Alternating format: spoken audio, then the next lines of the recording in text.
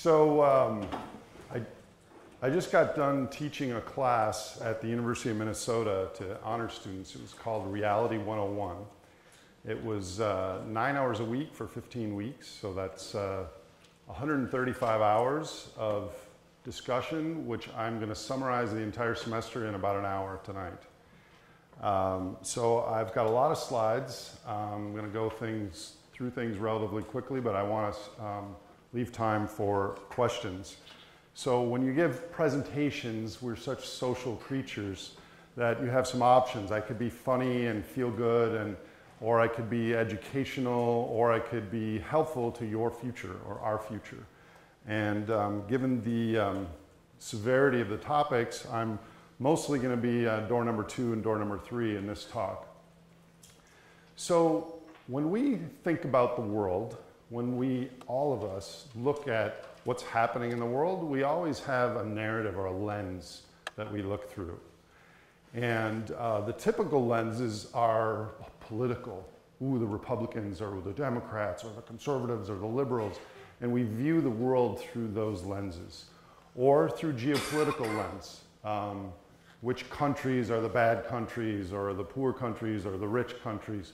Or an economic lens uh, wages and jobs and growth. Um, but the story I'm going to tell tonight is from an ecological lens. Um, as Bruce said, uh, more of a systems lens and how everything fits together, how humans are part of the, the world environment and the human ecosystem functions the same way uh, that a biological, ecological organism does. And tonight I'm not going to talk to you as citizens of America or as um, college students who are here to get a, degree. I'm going to talk to you um, partially as citizens of a planet which is ecologically full uh, of, of our species, and, and partially as, as young people who most of you live in Hawaii and plan to live here and what are the opportunities and challenges um, that you're going to face being 19 or 20 years old, facing another you know 60 years um, on this island, this group of islands. So um, my talk is going to be from three different perspectives. Um, I'm going to talk about the economy and energy and my um, position that growth uh, in the United States and in the developed world is um, ending. I'm going to talk about uh, the environment, a little bit about climate change, but mostly just about uh, the human um, impact on the world. And then I'm going to also talk about um, the most important thing to know when we talk about the human predicament is the human um, itself. So I'm going to talk a little bit about uh, human behavior. So, and then um, the last half of my talk is going to be uh, a, a list of 30 according to Nate, suggestions on how you might take this information into your own lives and, and what to change, what to think about, what to do. Okay, so let's start with the economy. So in nature, everything is run based on trophic cascades of energy. Um, and no matter uh, what level of the trophic pyramid you're at, there is first an energy input. The sun goes to the trees and plants. The plants get eaten by the herbivores. The herbivores get eaten by the carnivores. At every step, there's a heat loss, but energy underpins everything. It's the same thing in human ecology, human ecosystems. We have primary capital uh, at the bottom of the pyramid, which is our trees, our rivers, our forest, our air, and our fossil fuels in this case. Um, we turn that into secondary capital, which is tractors and toasters and refrigerators and houses and computer pointers and services. Here's a Starbucks barista. And then only at the top is there a, um, a, a value marker that is a financial representative of what all the under uh, the lower um, parts of the pyramid are. But and a lot of what I'm going to say is totally understood by ecologists, but totally disagreed by economists. Um, so everything in our economies, every single thing that contributes to GDP or gross domestic product requires first and foremost an energy input. No matter how you make a cup, whether it's with a coconut or ceramic or glass or tin or steel or clay, you first and always need an energy input. Energy is a precursor to everything that we do. Now, um, this is uh, me. I'm about a tenth of a horse. That's my horse, which would be one horse. Um, that's my utility vehicle, which is the work of 45 horsepower. And that's my truck, which is 150 horsepower. If you consider my water bottle here full of diesel, um, will power that truck about seven or eight miles uphill in the snow. And can you imagine how many people it would take to do that amount of work? And we just take it for granted because gas is $2.50 or whatever. It's stored sunlight that we are the beneficiaries of. So everything in this graph costs $50. Actually, as of today, oil costs $32. Um, but economists treat everything on this graph the same. A barrel of oil is worth some sunglasses or a bottle of tequila or a clicker mouse or anything else worth $35. And yet, um, every single thing in our economies is dependent on an energy input. The reason it's only valued at $35 we're going to get into in a little bit, but we're just paying for the extraction of it. It took millions and hundreds of millions of years for it to be formed. So we, each American right now, has 60 barrel of oil equivalents of fossil energy standing behind us, unseen, uncomplaining. Um, we're starting to know that these fossil slaves poop and breathe based on some of the environmental constraints. But we, each of us, have 60 barrel of oil equivalents every year of coal, oil, and natural gas, which um, explains our wages, explains our profits, explains our low price stuff, and to a great extent explains the moonshot in human population over the last couple hundred years. Um, so a lot of you have seen this graph um, that uh, 10,000 years BC, we were at about a million people. Now we're at 7.3 billion people. But what a lot of people don't know is this is the GDP or wealth kind of per capita since 1000 BC. Not only has human population gone up, uh, you know, sevenfold in the last couple hundred years, but our wealth also has. And this is expressly due to our mining of stored um, pixie dust in, in fossil sunlight. I, would point out that this graph was from the head of the um, UK, the Britain's central bank had a 40 page speech on growth, and not once in 40 pages was the word energy um, stated. So, if we think about all the billions of people on the planet and the work that they do every day, 90% of the labor done in our economies is not done by humans, it's done by fossil fuels. And um, so what ends up happening is the key story of industrialization was um, adding large amounts of cheap energy to replace activities humans used to do. So back to that barrel of oil. One barrel of oil has 5.7 million BTUs in it of energy. That translates into 1,700 kilowatt hours of work. So Richard Ha farming bananas or working hard on his farm, or me shoveling snow or doing chores back in Minnesota can generate around six tenths of one kilowatt hour in one day. So for me, to generate the same amount of energy potential that's in one barrel of oil, which now costs $35 to us, would take 11 years. So think about that.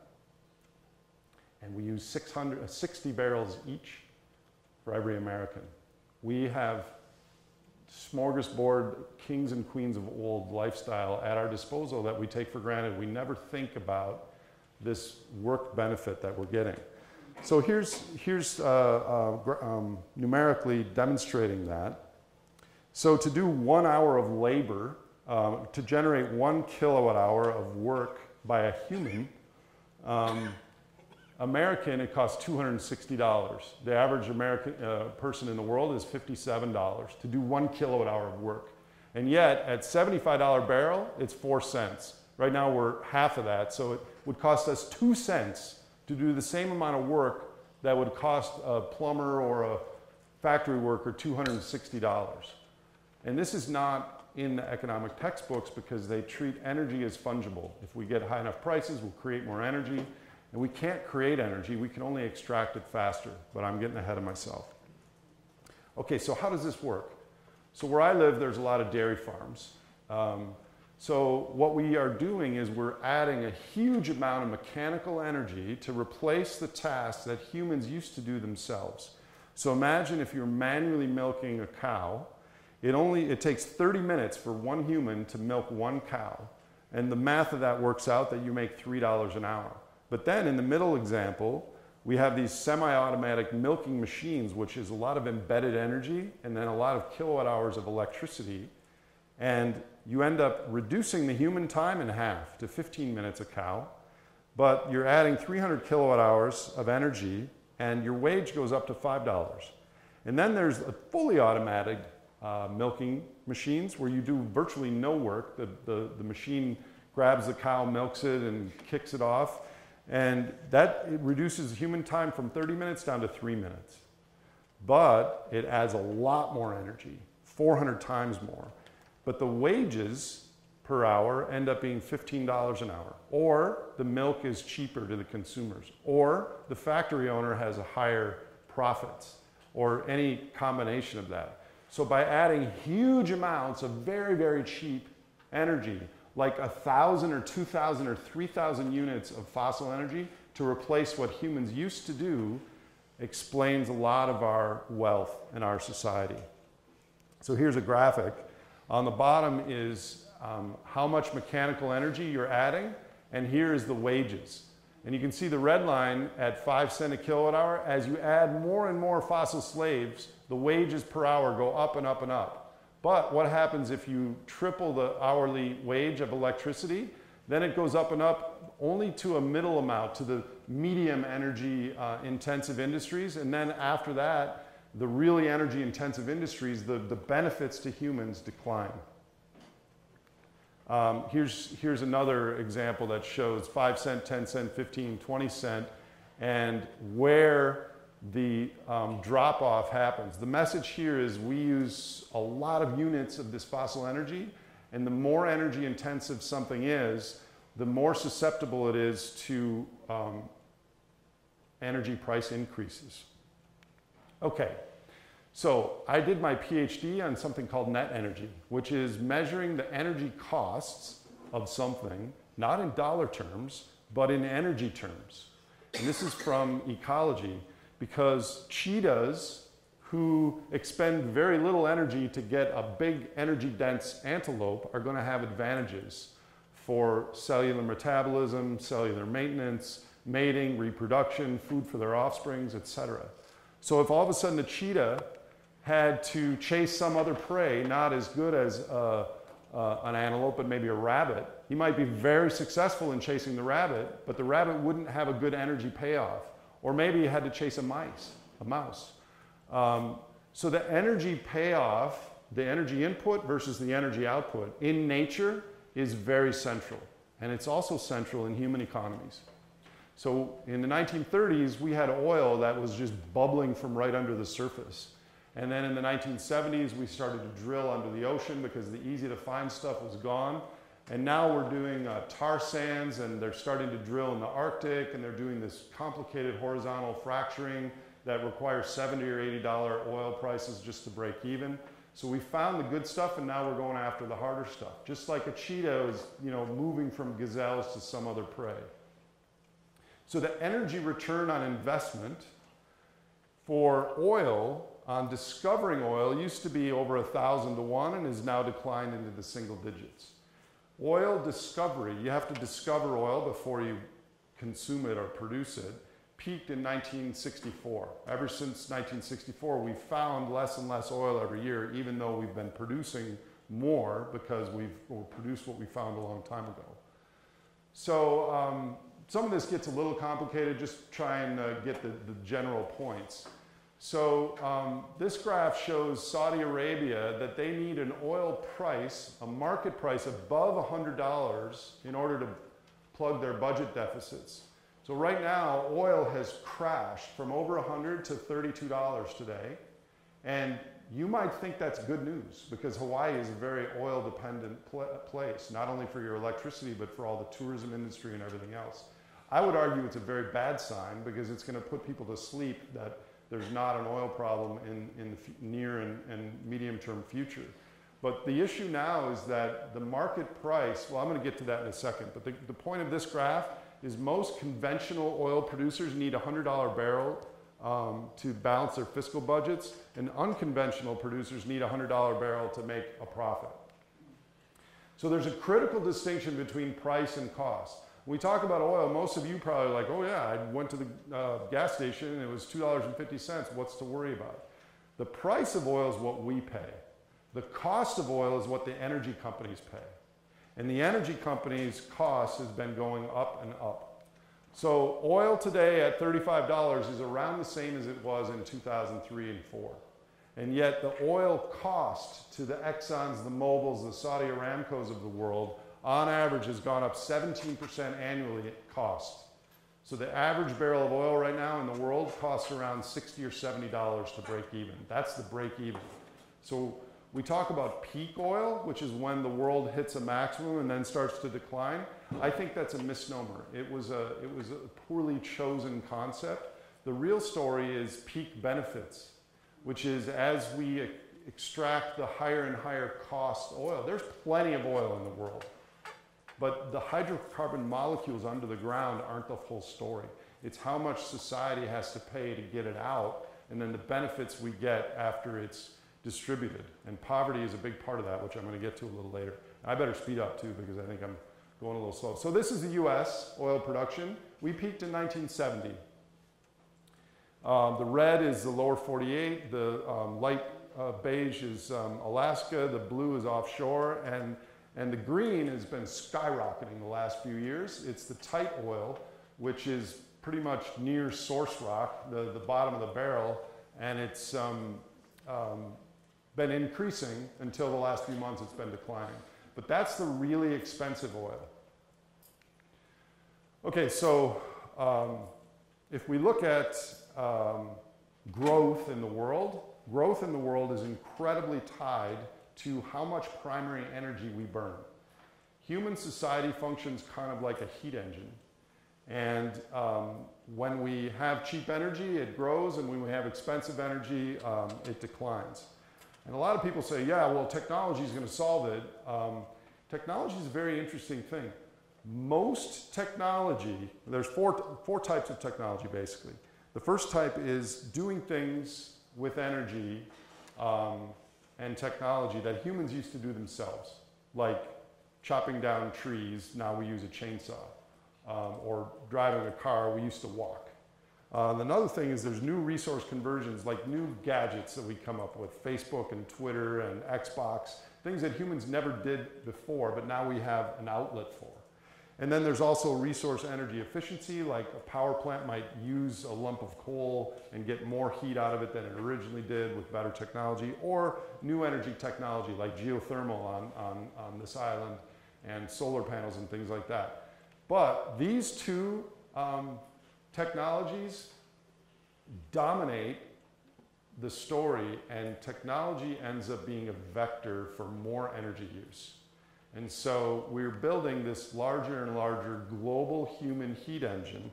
Uh, real quickly, this is a chart of global energy consumption over the last 200 years. The bottom beige is trees, biomass.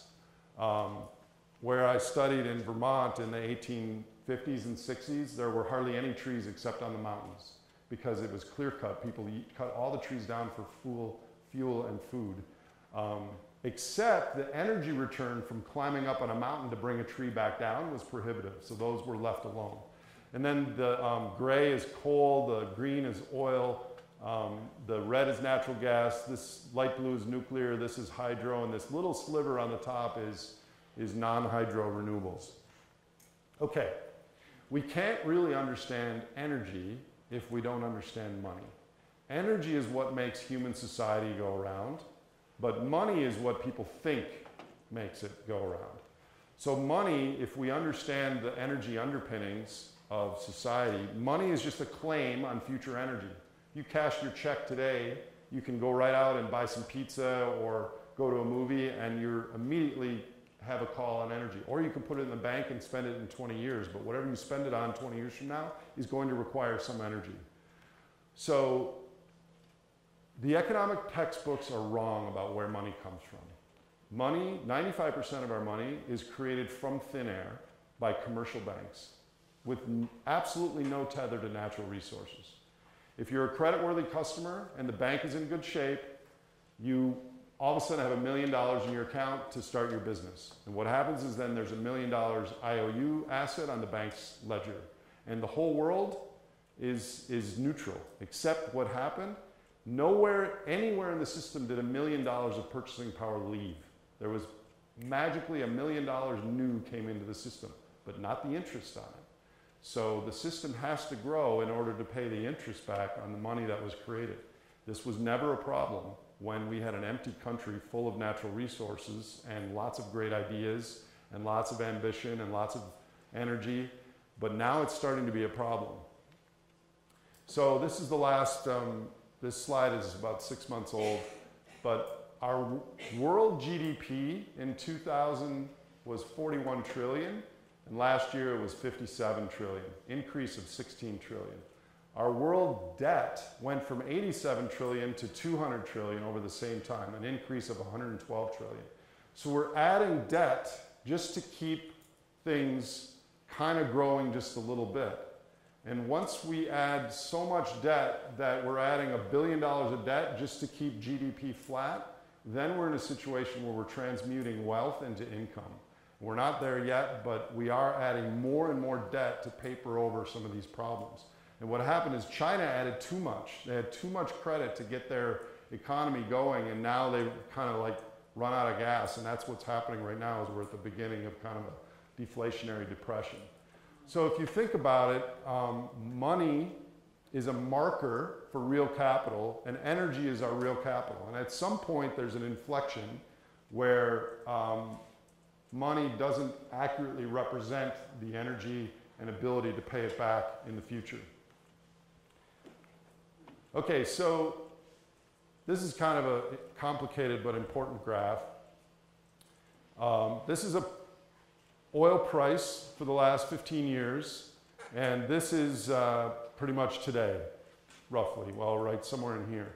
So we created too much money that people couldn't generate returns on it, and now all commodities in the world are, are coming down. And what's going to happen then when oil's at $30, all the oil companies that had 70 or 80 or 100 dollar um, costs are going to go out of business. And what happens if a lot of oil companies go out of business? Well, then when demand goes up again, there's not going to be as much oil. So what's going to happen is this accordion where we have a boom and bust in the oil industry, and I would argue that the the time between these crises becomes shorter and shorter. And we will have significantly higher energy prices, multiples, multiples of what you're used to in your lifetimes probably sooner than, well, can't say sooner than your lifetime, that would be silly, but within the next 10 years or within the next five years. Um, what's happening now in the energy sector is, is not good news because a lot of people um, are conflating the difference between money and, and energy. Okay, so let's talk about the environment. Um, some of you are environmental students. So the economy is obviously a subset of the environment. But in our economics texts and in our businesses, we treat air and healthy ecosystems as external from our economy. They're externalities. We don't have to pay for them. Um, so we are, humans are, um, using between 25 and 40% of the net primary productivity on the planet. One species out of 10 million is using almost 40% of the direct sunlight that's appropriated by biomass for our own um, entities. Um, so we thought we, we, we, looked at the heat engine uh, of more and more primary energy use, And this it can be um, witnessed by a lot of things that in the last 60 years called the Great Acceleration. Lots of uh, environmental things you're aware of. Um, you know, there's just hockey sticks left and right on human impact. So a lot of you have probably read about the climate forecasts. Um, I'll briefly talk about that here.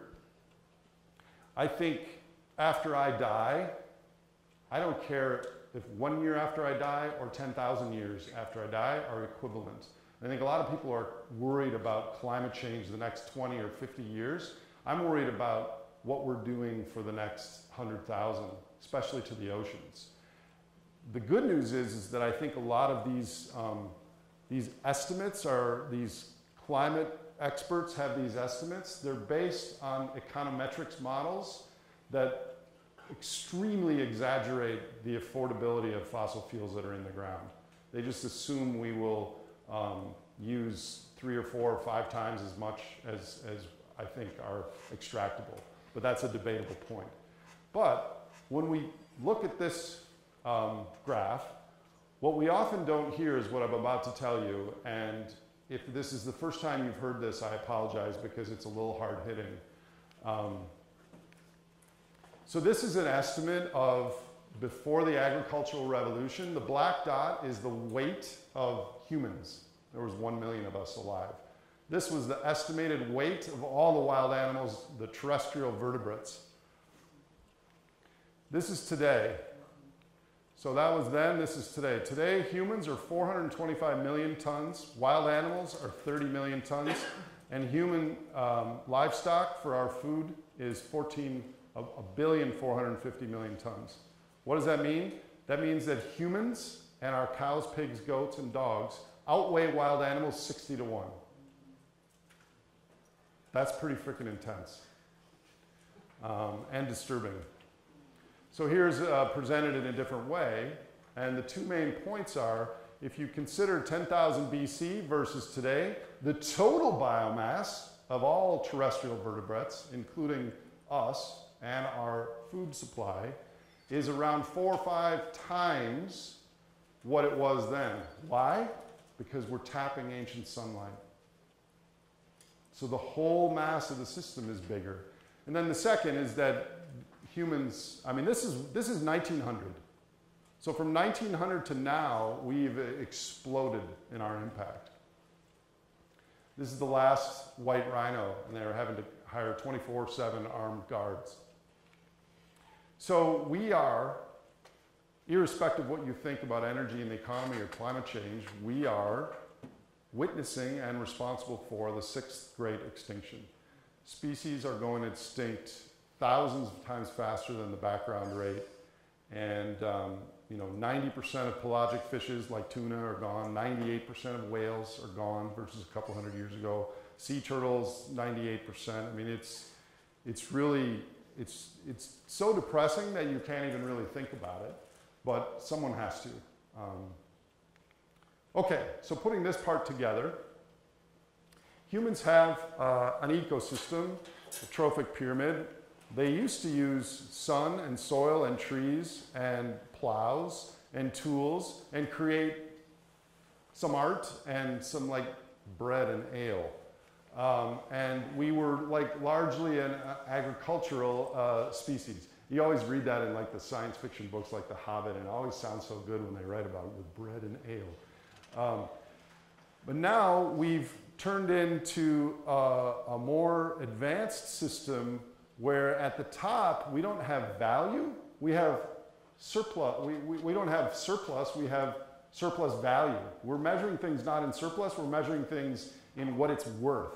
And our pyramid is kind of lopsided because we've used half to two thirds of the good natural capital and we've created a lot of uh, secondary capital. But actually, now in America, our service industry is larger than our manufacturing industry. As of last year, there are more bartenders and waitresses than there are manufacturing jobs for the first time in history. And we've got this very distorted financial um, uh, accounting of all this. Okay, so um, real quickly on here, The um, average wage over the last 150 years, um, median wage is the gray line, and productivity is the black line. Well, how can this happen? Well, a lot of the wages and profits went towards the business owners and the top of the pyramid, and the average person has not really seen a large increase in the last 30 or 40 years. I'm going to skip that. So in America, only the top 5% of families are doing better than they were 10 years ago. 95% are the same or less as far as their salaries versus the cost of goods. So even in America and in Hawaii, um, there is uh, uh, an end to growth. And growth is like a word like love or hope that we just throw around as if it were a, a natural thing, but it's an ecological thing. It's based on ecology and systems. I'm going to skip that due to time. So there is um, all of the, all of the, um, it's kind of warm in here, isn't it? Or is that just Hawaii? Or is it because I'm talking? It's it's, or is because I wear a sweater. That was smart. Um, so there's not a single policy or government agency in the world that forecasts flat or negative growth. If we have a recession or a depression, they just forecast their 3% or 2% growth into the future after the after the recession, which is what this graph is. They don't understand the difference between gross and net energy, and neither do you because I didn't talk about it, so I'm going to skip that slide. Um, but the, the, the main forecasts for this century are that by 2068, the United States will be as big as the whole world is today. That's like legitimate forecast by economists, that the size of the US economy will be as big as the world economy. So this is the, this is the OECD long-term forecast of growth for all these countries, and here we are today. And where's the energy going to come to This is absolute fantasy. Now, how is this going to manifest? It's going to manifest first, not with hard limits to growth, but with social limits to growth. And you're going to have rising poverty. Already in America, 50% of Americans, if they lost their job, they have three months or less of savings. There's a lot of rich people, but there's a heck of a lot of poor people, and there's starting to be more people. And Hawaii has one of the highest homelessness and poverty rates in, in the nation. Um, so as energy gets more expensive, one of the casualties will be poverty, and the other one will be the really energy intensive industries, uh, like um, cement or aluminum or air, aircraft are, are very energy intensive. Okay, what are some things that would reduce climate risk and save environment species? Well, a steep carbon tax would, steep consumption tax, or a baby tax. What are some things that would help the economy? Cheaper energy, 50,000 forgivable government loan for every American, industrialize Africa and Asian subcontinents. In your lifetime, you're going to witness the epic battle of our day akin to the Inquisition and the Crusades, which is the battle between economic growth and environmental protection. It's already happening now, um, and I would urge you all to take, uh, take part in that. So, what about politicians? Well, they're a little bit um, ineffective at this problem because you can imagine. I want to be reelected, more social status access for me. I have no answers to the real questions. I don't even want to acknowledge the problems at hand. I don't want to admit I have no idea. I will do what I can to keep me in power. So it's, it's kind of who is going to, who would vote for me if I was saying the things that I'm saying tonight, even though they can be scientifically connected, maybe not the synthesis, but each one of these things can be looked at. It's not a popular thing until things get really bad, and then, of course, but the reason that all, look at Donald Trump. Scary. But it's nothing really about him. It's about the 20 or 25% of Americans that like what he says. It's not about him. And we are creating conditions where someone like that could get elected. He's down to four to one, by the way. So there's people that think. Anyways, I got, I got a lot more to talk about, so let me get going. Renewables, mature, cheaper, very good things, but not to keep this economy going, not to keep business as usual going. The red line is some hypothetical price. Fossil fuels are getting more costly, renewables are getting cheaper, but in my opinion, no combination of fossil fuels and renewables can continue economic growth. So real quickly, oh, I just said that. No combination of fossil and renewable energy will maintain economic growth. Fossil carbon underpins all of our mining, extraction, industrial processes needed for renewables. Think diesel fuel. A third or more of societal energy uses would have to be ceased even if we, if we were to dedicate enough energy, because to invest in renewable energy, we need to take energy away from some other part of the economy and invest it in those plants and such. Currently, scaling renewable energy is not replacing fossil fuels, but building a larger heat engine. We're not actually replacing it and then stopping the coal and gas. We're, we're using all, we're using more. 80% uh, or so of the energy in the United States is non-electric, and most renewables are electric. So liquid fuels, oil, is going, is, is going to be the real story. Now, renewable energy are the right answer, but to uh, a different question. We can have a vibrant and meaningful society using mostly renewable energy. Rough guess would be a quarter to a third of the current footprint. We'll have to work when the wind blows and sun shines and not bake two turkeys at 3 a.m. if we have a craving to, etc. We're going to have to be more intermittent. And I'm not talking the next five years, I'm talking the next 50 years during your lives. We'll need to keep fossil carbon industry going to maintain high quality liquid fuels or turn the roughly $100 trillion of built machines into electric. And this is not going to be affordable to the average person. All this stuff is technically feasible, but if we get back to my point on, on the benefits that we get from this cheap fuel, at $200 oil, a lot of the benefits that we get right now would, would go away. Um, this is just kind of a rhetorical question. Can financial markets or democracy work with contracting economies? Um, okay, so um, summary so far. We do not face an energy shortage, but rather a longage of expectations. For most, not all people, growth is already over, and the same or less will be the new reality. Current high consumption levels are being supported by central banks creating money and guarantees around the world. I didn't really talk about that. A carbon tax is a tax on 90% of our workers and would therefore reduce GDP. Solar and wind are getting cheaper, but not cheap enough to continue growth. And without growth, we have poverty and greater inequality. We need larger than baby steps, but our policies and institutions were designed for only baby steps. We're unlikely to do much in advance of a crisis. The main difference between us and earlier humans is two things. One, we're using fossil sunlight, and two, we figured all this stuff out. I have a lot more to say though, so hang with me here. In order to know about the human predicament, we have to know about the human. And not to pick on Richard, so um, I have a picture of me too. I am delusional. I think we are all delusional, which means that our difference between our virtual worlds in our mind, the thing that we think we see in the world, is different than the physical world, actually. Now, with education and training, you can narrow that difference. But as a species, we are inherently delusional. Let me talk a little bit about that. We are related to all life on Earth. Four and a half billion years uh, of evolution, and we are 99.999% genetically related to everyone in this room, no matter what our ancestry is. 99% plus or minus related to uh, pygmy chimps and, and bonobos and 90% related to a cow, 80% related to a cat, 70% to a fruit fly, 50% to a banana, etc. We have common genetic heritage to everything on Earth.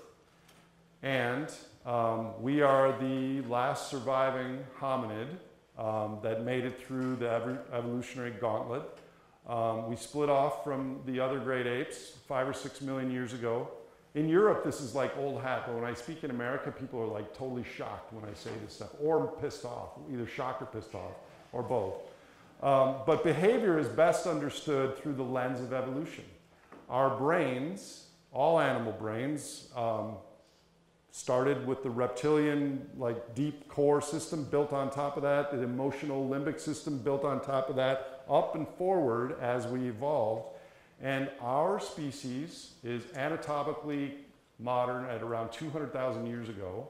So even before then um, and after then, we had thousands and thousands of generations where everything was kind of stable and we lived uh, amidst scarcity. And that has a huge carryover impact to our behavior today. So if you believe that we evolved, and you imagine and read the anthropological evidence that there were tribes of between 25 and 150 humans, you can imagine what sort of things would have been adaptive, what sort of things would have led to success in, in food acquisition, what sort of things would have been status and, and led to mating and survival. And those things end up being adaptations that all of us have to some extent. And the problem is, is that the emergencies like peak oil and climate change and biodiversity loss, we can conceptualize those things, but they don't shout loudly. They don't give us the neuroendocrine cascade or the neurotransmitter feelings that a cheeseburger or an email from a cute guy in our science class or uh, some beer or a fast car, those things shout loudly to us because they're telling us that these things are good for your fitness. These things are good for your relative status.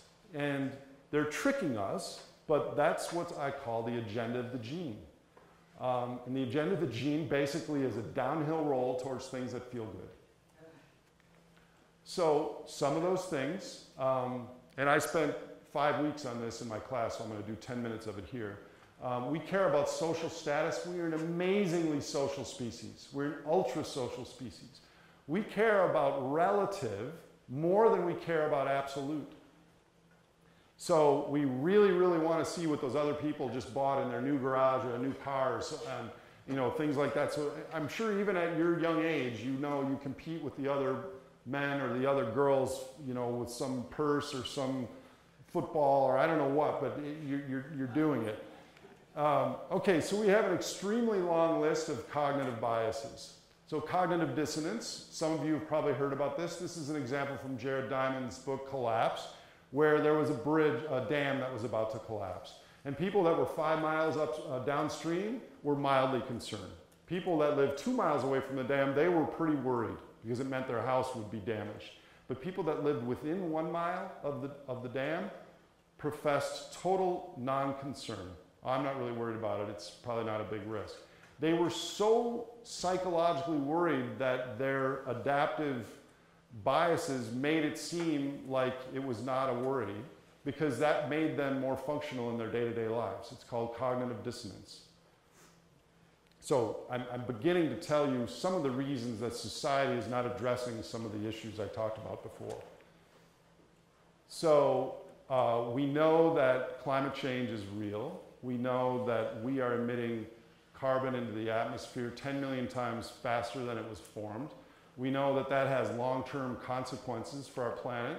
We know that Hawaii is in the middle of the ocean, and hey, let's get some beer and pizza. Holy crap, Godzilla's in Honolulu.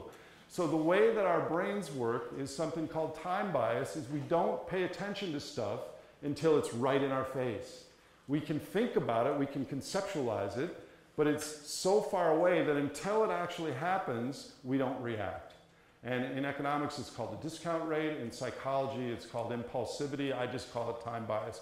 James Schlesinger, head of the CIA in the 70s, said, We only have two modes Americans do complacency and panic. And right around the time he said that, Johnny Carson joked on The Tonight Show that America ran out of toilet paper. And by 10 a.m. the next morning, we did, in fact, run out of toilet paper because everyone rushed to the stores and bought all the toilet paper that they could. So, confirmation bias is when we already believe in something and we only seek out information that confirms what we already believe. Uh, in group conformity bias. Um, there was a person sat in a room with seven other people, and if the other people said, Oh, line B is the most like this line, two thirds of people agreed that line B was the same as this line. We're very, very peer uh, oriented. Optimism bias. 90% of college professors think they're better than average. 99.9% of high school admitted said they were better than average at other people getting along with them. When we are adaptive, when we are optimistic, it reduces cortisol, which is a stress hormone, and it boosts helper T cells, which help our immune system. So to be happy and look on the positive side of life helps us physically. So there's no wonder why we do it. Um, Here's another problem, which isn't like an official bias, but intelligent people all think the same way. That is a problem. Uh, you might call it groupthink. This is a, the uh, uh, central bankers and Federal Reserve people from all over the world a few months ago. um, authority bias. It's been shown that someone that's charismatic and confident, even if they have a terrible track record, is more believable than someone who's mild and meek and not that uh, charismatic, even though their track record is really good. Like we respond to um, that sort of, of, of speaking. And here's a few more biases. There are actually thousands of biases. We are not a rational species. So again, the virtual world, what we have in our brains, shouts louder, makes more sense to us as it should. It's what we get our enjoyment of life from than the physical world. But we humans are facing some physical world problems now. So um, there's a spectrum between 100% BS and 100% true physical world.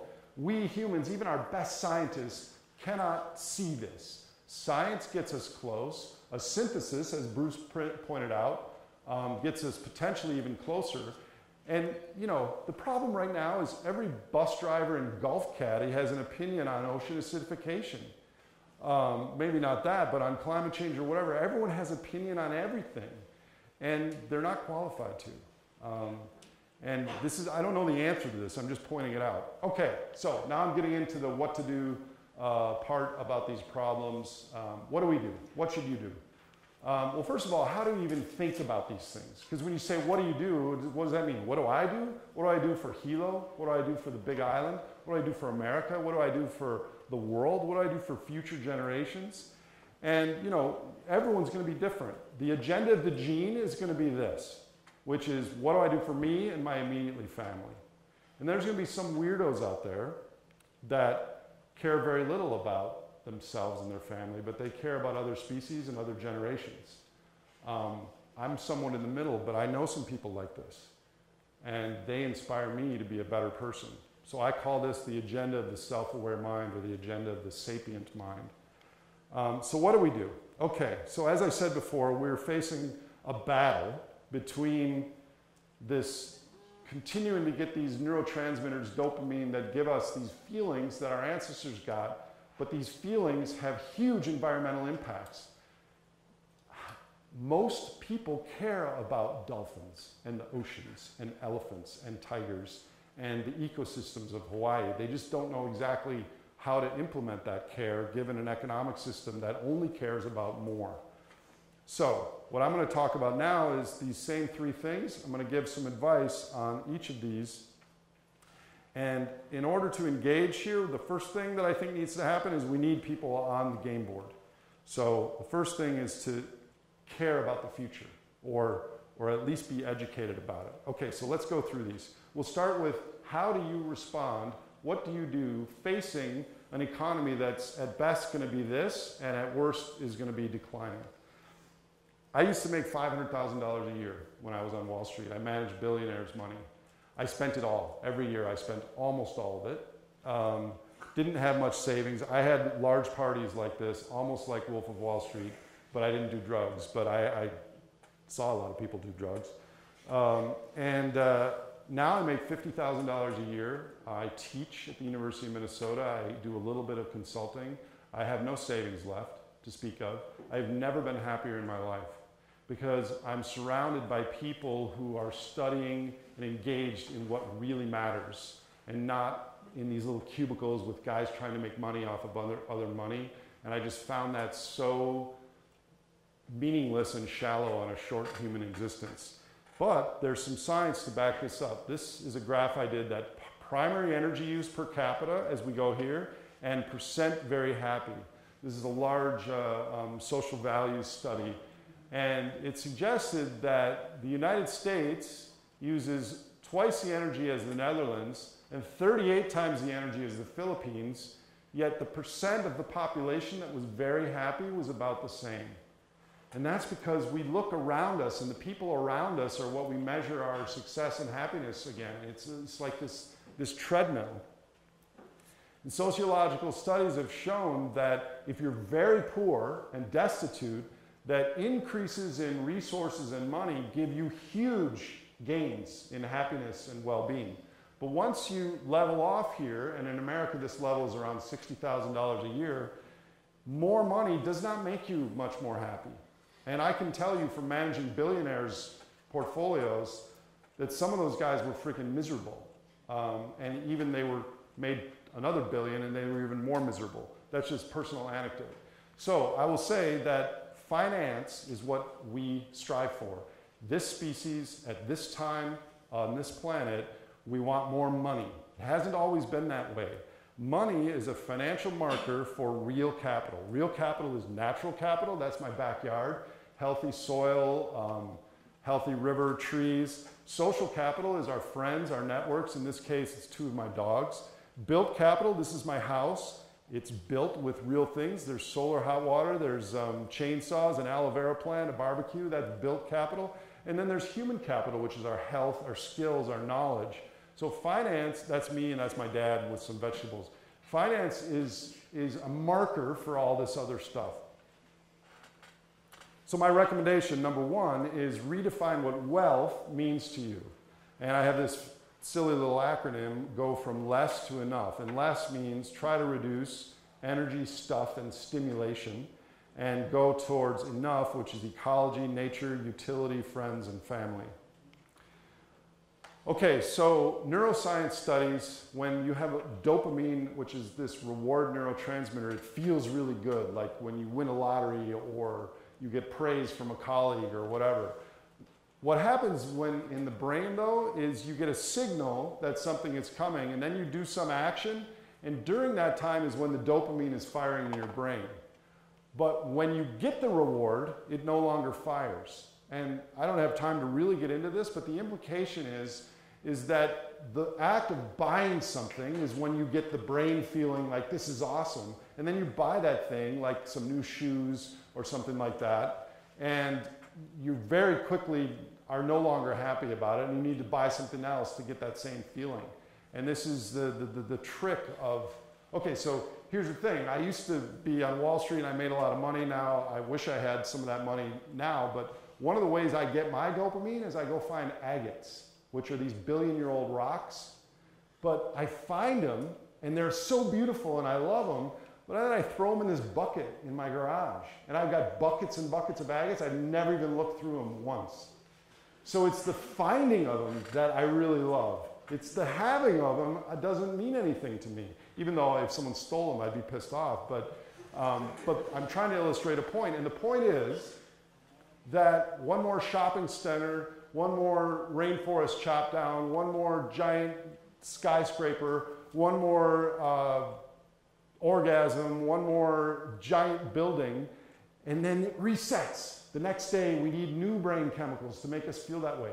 The problem is, is our brains are flow-based, and we live on a stock-based world. And so this is one of the central problems we face is how to get these neurotransmitter feelings. Um, so I would argue that as individuals, you should try to stop at enough instead of going over the deep end. So uh, my number two recommendation is recognize and resist meaningless consumption. I'm going to go longer than I originally thought, but I don't think you're going to be bored in the last. I'll be done in like 12 minutes uh, or so. Um, this is not my storage unit, but it just as well could be. All the stuff that I bought the last 15 years I think is really important. I've not opened my storage unit in three years. So as young people, just you know, think that through. Don't just stand there, be useful. I think college degree is important, but have skills outside of that. Uh, you know, you remember the TV show MacGyver that could do all kinds of stuff. Maybe be a good cook. Maybe learn small engine repair. Have some skills. You don't need a lot. You don't need to know everything, but if you know something, that'll be helpful. Is bigger better? Um, you know, this gets back to the relative versus absolute thing. Real quickly, would you prefer to own a 4,000 square foot house in Hilo where all your neighborhood houses were 6,000 square feet? Or would you prefer a 3,000 square foot house, a much smaller house, but when all your neighbors' houses were 2,000 square feet? Most people would prefer the, the smaller house as long as it was bigger than their neighbors.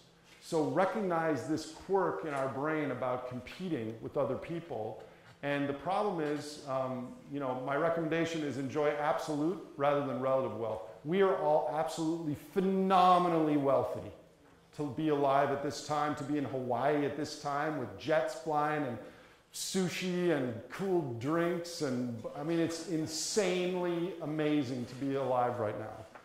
And the problem is, is when you finally do run and keep catch up with Joneses, you might find out that he's totally miserable. All right, um, number five, become more flexible and adaptable.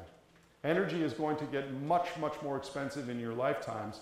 Don't get sucked into a lifestyle that requires a huge amount of energy or a huge cost of things. Be more flexible.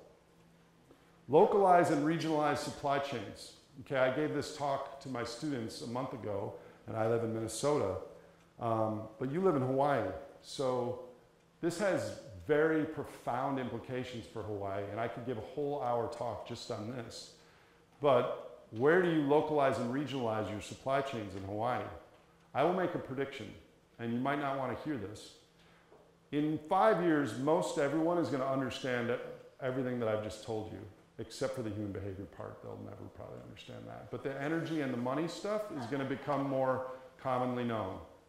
What's going to happen? There's going to be a lot of people that are going to leave Hawaii because they won't want to be here when all this stuff happens. And there's going to be a lot of people that want to come to Hawaii because they want to be remote when this stuff happens. And I don't know when this is going to happen. Um, it's going to happen the next 20 years. And so start thinking as young people who in 20 years are going to be the leaders of this place what do you want it to look like? Those Waikiki hotels are going to be empty in 20 years. Maybe not, highly likely to be. Um, and maybe in 30 years, or I don't know when, but at some point, the little puddle jumpers that go from island to island are going to be only available to the military and the very rich. So, how do we construct a lifetime, a, a lifestyle based on different rules? And I'm not entirely certain about this, but if you read the tea leaves of how things come together, it's, it's a reasonable uh, prediction to make. Okay, another thing is technology is so wonderful, but most technology just creates little gadgets. We should have young engineering types create cross generational technology as a suggestion. When everyone hears about end of growth and uh, currency or financial crisis, a lot of people's initial reaction is, well, I'm going to buy gold. Well, I'm going to buy some guns.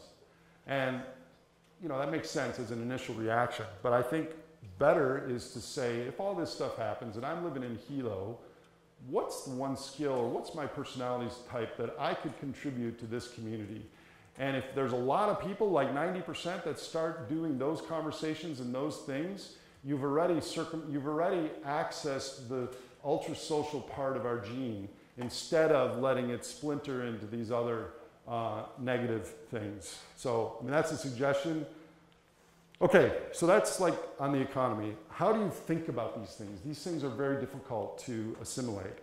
I don't know what the future is going to be. I think business as usual, continued growth, is not very likely.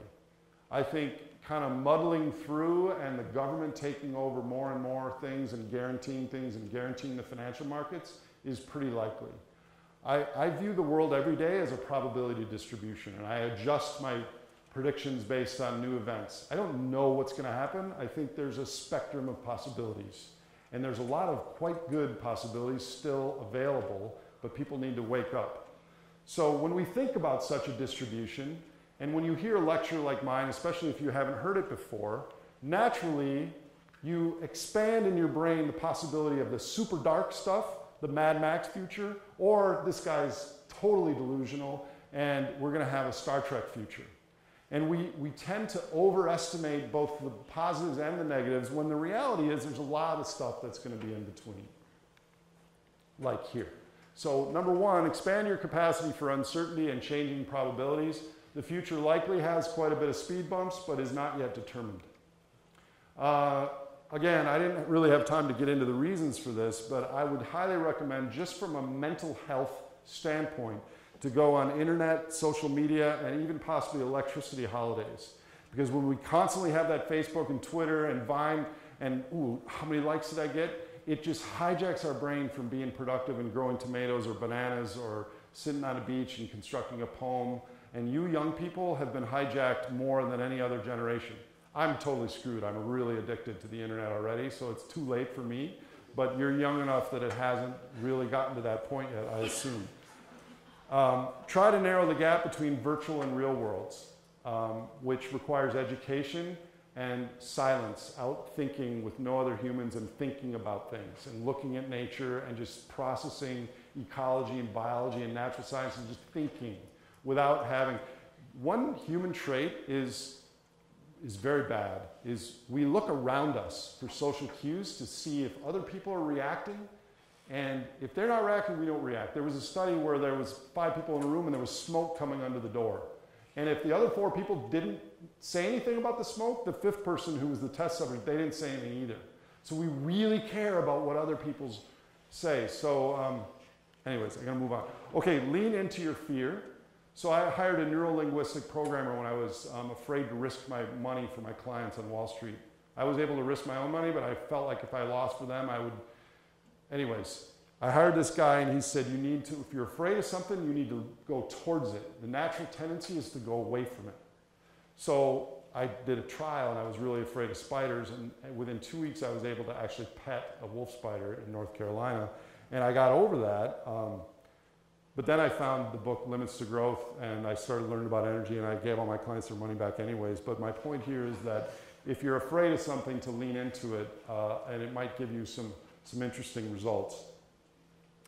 Um, so these things that shout louder to us, we can, I'm not sure that we have free will per se, another discussion, but we can practice free won't. You can say, I'm going to do this on next Tuesday, and you make a social contract with yourself. And there's lots of examples uh, of that where you can make these things shout louder um, than they normally would. And the way to do that is to build neural structures for when tomorrow becomes today.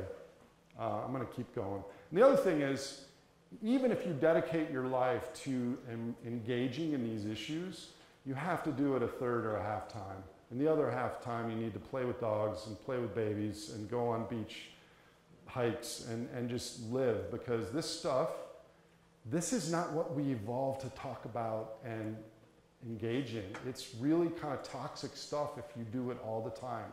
I hope you do engage in it, but leave time for the, the fun things in life as well. Another thing is when things bad happen, naturally we blame others.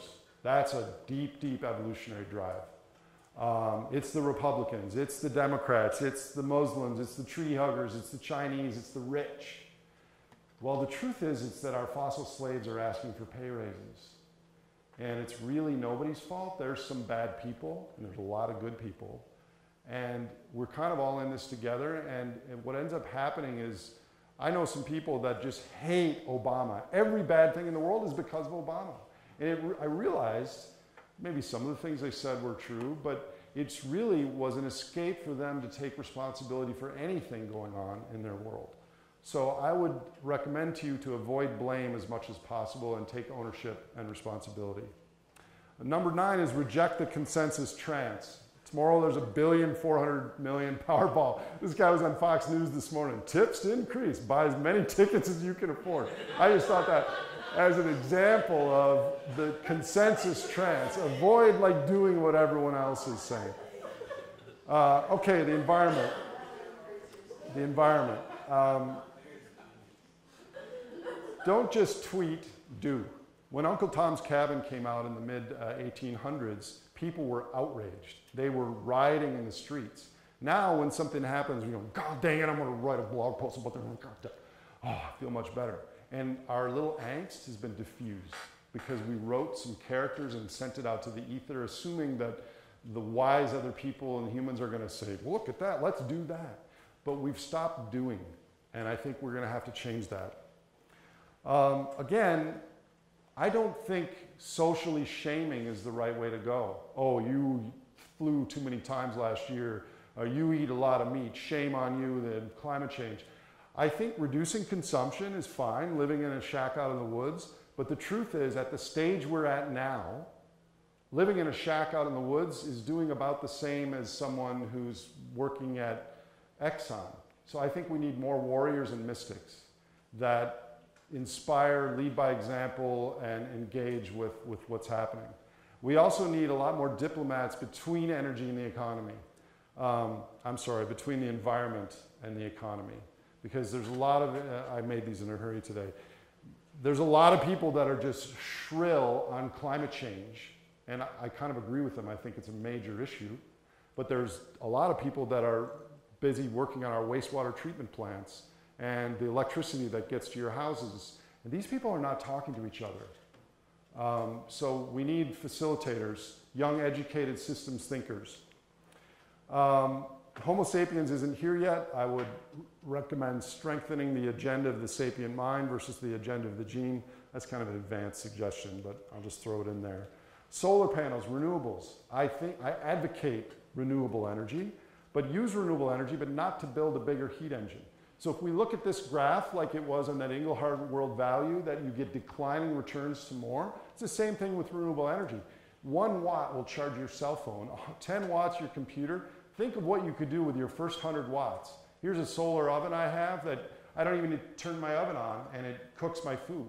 Now, do we really need to bake two turkeys at two in the morning because we can't sleep? You know, so I, I, I think all this stuff in your lifetime might go away. Um, no, we might have community. Uh, I, I, digress. My point is, I'm pro renewable energy, but I'm also a realist on what it can accomplish. The real stock market has been crashing since I was born, and we talked about the details there. This is my writing partner, one of the early people at Greenpeace. He lives on Oahu. We're writing a book to hopefully inspire young people on this stuff. This is him swimming with a dolphin that was one of his best friends. And you may sound, that may sound silly. There's so much about these creatures in the ocean. Dolphins and, I dolphins and humans share a common ancestor 70 million years ago. Their brains are as big and as complex as ours. Unbelievable stories about how empathic they are and how they care and how they know things. There are 250 to 300 year old bowhead um, whales in the, in the uh, Arctic. And we know that because we found one that had a harpoon point in it that from the 1700s. We don't even know what this life is in our own ocean. And we're trying to. Elon Musk last week said that he hopes he dies on Mars, hopefully not on impact. I mean, they're seriously thinking about terraforming Mars when we don't even know our own Earth yet. So I, I think to to stand for this is, is important. Uh, in pursuing fairness and justice, which we are very good at doing, please don't forget our cousins, nephews, and nieces that we share the planet with. Uh, number six, educate and inspire others on new aspirations and values, and speak up and speak out when you see an injustice, whether it's a dog mistreated or something that you know is wrong. Don't just toe the common line. And I think we need to welcome and consider alien thinking. There's too many of us that think the same way, and we need new ways of, of uh, you know, getting fresh ideas, and that's, you know, might fall to you, a lot of this. Okay, so in conclusion, I've talked for over an hour. I've given three lenses with which to view the world, and there are three narratives that I've told you that are very inconsistent with what you're hearing on the media and elsewhere. Number one, this is probably the most understood and agreed with, is that humans are power enough to cause a sixth mass extinction. And this is without climate change. It's happening now. Number two is that energy underpins nature and human societies, and its increasing cost is not going to allow future economic growth for much longer. And number three is human behavior was formed in the crucible of our ancestral past and carries with us uh, in our everyday interactions. So, um, conclusion. Energy is what we have to budget and spend. Money is just who controls the energy. Peak oil should have probably been called peak benefits around 10 years ago. For most in the US, Japan, and Europe, growth is already over. We're hitting social limits to growth before hard resource limits to growth. Uh, skip number three, I already said that. Uh, environmental scientists and activists will probably be working under a smaller surplus conditions, possible dislocations and rule changes. The fossil carbon pulse has been a giant monkey trap set before we even evolved, and we need to be thinking about and preparing for life after fossil fuels. Remember that whether you agree with what I've said tonight or not, fossil fuels are going away this century. 2100, there won't be many left. So if we give them up earlier, we can save a world. It's not like the choice is let's do it for 500 years more. Number six, the market will not solve it, but keep digging our holes deeper. Number seven is what young people value and stand up for is one of our highest leverage points, my opinion. So I really have no answers on these things. I've kind of drawn a line in the sand and, and said, this is how I see the future, and these things are likely to happen, but if we work and educate and, and inspire, some better things, better outcomes can happen. I think me admitting that I have no answers personally is two or three steps ahead of most people who do have answers. Uh, because they're looking in a reductionist silo type of thing and not how everything fits together. So this is the carbon pulse I was just talking about. Are we here? Are we here? I don't know. We're a social species overly focused on the next five or 10 years. So to you young people, it's kind of like Lord of the Rings when Frodo says, I wish the ring had never come to me. I wish none of this had happened. Gandalf says, so do all who live to see such times. That's not for us to decide. All we have to decide is what to do with the time that is given us. The United States could lead by example. It's not really global population or global consumption that's the huge problem. The huge problem is that the rich countries are marketing to India and China what they should aspire to. And we could conceivably lead by example. And I don't know what to do, and I think we, there, we need to try a million things because we'll never know which of those, in retrospect, will have had the most impact. Um, and there's been a lot of famous people who are, were the architects of, of history, and it's still unknown what this century is going to bring. My final advice to you is this is really heavy stuff. And I think you first have to like yourself and come up with uh, a self definition of what you stand for and be happy with yourself. What do I stand for? Well, I think I'm an educator of the unity of knowledge. I like to think that I'm kind, especially to animals and to young people. I consider myself a citizen of a full planet, and I care about deep time coexistence with humans and other large complex life. This is how I define myself. And I think you're 19, 20 years old. To figure out what you stand for facing these challenges is the first step because it will empower you to do a lot of other things and feel better about it. Uh, Hawaii's future is not yet determined. There's lots of different trajectories it could go. And I, I invite you to um, get involved, educate and imagine, change the goal, and stay in the game. Thank you very much.